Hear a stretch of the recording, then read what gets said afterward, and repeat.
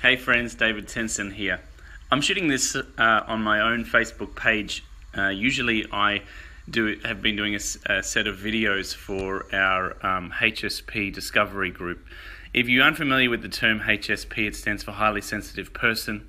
It's a, a genetic trait that happens in one in five people where your nervous system works in a particularly different way than everyone else, and um, you tend to deeply process things, you tend to be overwhelmed uh, easier than others. You tend to be emotionally attuned or empathetic uh, a lot more, and you notice subtleties differently. I've got a whole stack of teaching at davidtensen.com on life as a highly sensitive person. It's not a uh, it's not a bad trait. It's not less. It's just something that is is different. And um, and I've had so many people come to me and say, "Hey, this teaching and this just simple." Piece of scientific knowledge has so transformed my life because I, I thought I, something was wrong with me and I had to keep changing it, but I've learned that it's beautiful and deep and rich. And so let me encourage you to um, have a look at that. But this is one of the questions we had on our um, closed Facebook group.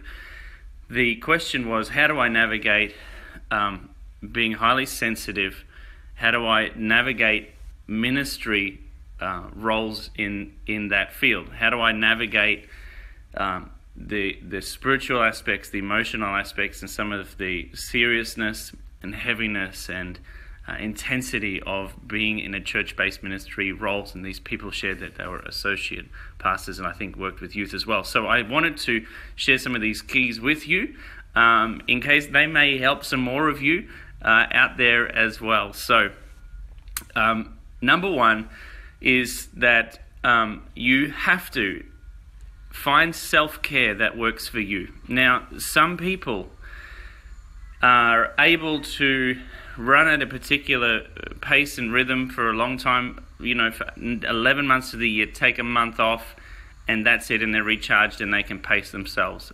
For highly sensitive people, often you need more breaks more often smaller breaks more often. So it may be that you take a week off every quarter. It may be that you take half a day off every week. It may be that you only work four days a week instead of five. Something that works for you. And so you have to find a self care thing that works for you, um, especially in ministry roles where, uh, you know, it's always on. You, you don't get a break from being who you are. You don't get a break often from your position um, depending on the size of your church and movement and denomination, you are going to have to run at a particular um, pace, and that's going to be expected of you. Find some self care that works and and stick to it and try it and note it and talk to your spouse, partner, or family about that as well. Because it could be that one of you is is is highly sensitive and attuned this way, and the other is not. So find something that's a, a happy medium. Number two is get clarity from expectations of your employees. And this goes for anyone, but it's really important uh, when you are in particular positions that don't let on, especially ministry and church based roles. And, and some of you may be watching my work a 40, 30, 40 hour week, 50 hour week, and then be quite involved in your local church as well.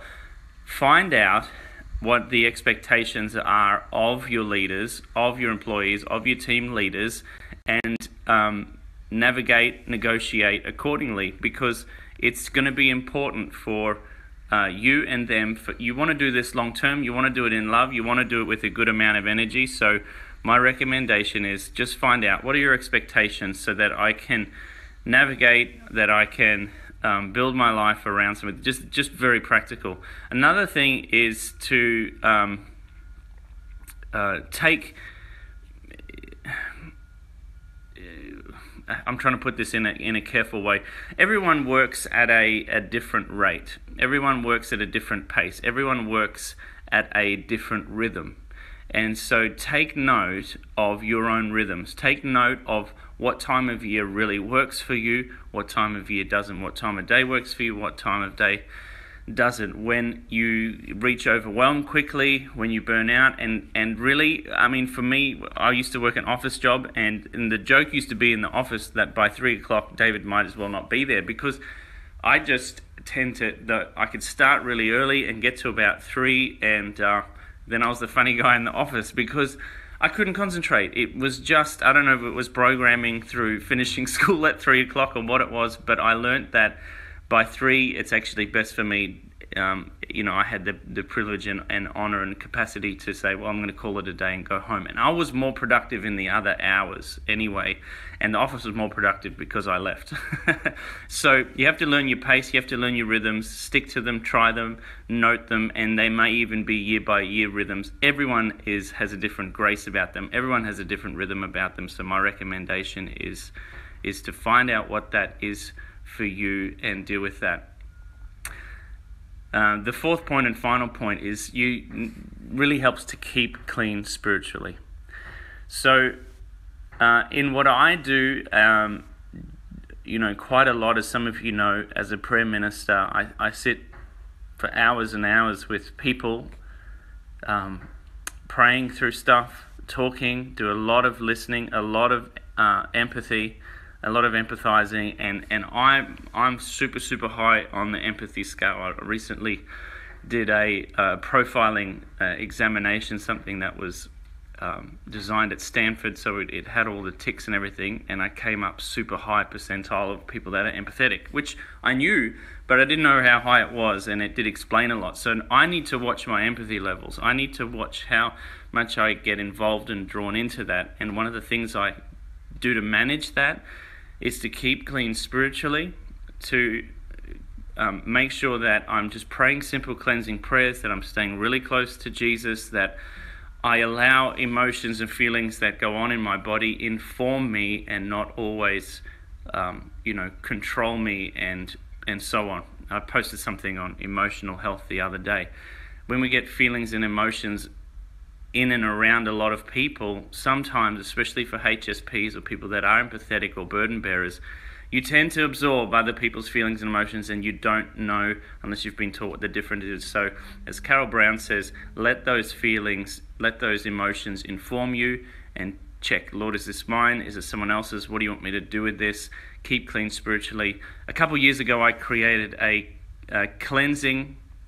Um, prayer for compassion and care workers, healing and cleansing prayer for compassion and care workers. It's on the davidtensen.com site. It's also on the USB stick, which is currently got all the teachings and prayer ministry stuff I've done for the last soaking prayers I've done for the last two or three years. So um, they're on the website. It's on that as well.